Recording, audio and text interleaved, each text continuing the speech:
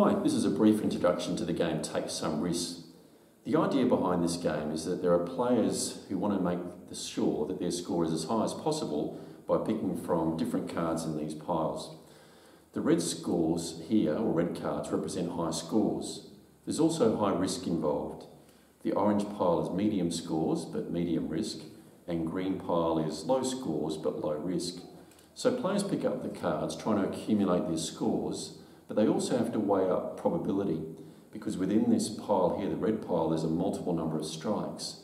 So if they choose to pick from here, they take a risk. Now, through the course of the game, if they pick up three strikes, that means that the score has to stop.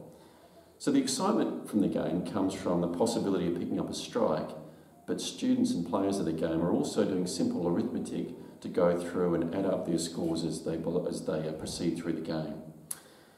So that's the simple nature of the game. It is very easy to go through and do. All that happens is you pick from one of these piles as you go through and play the game.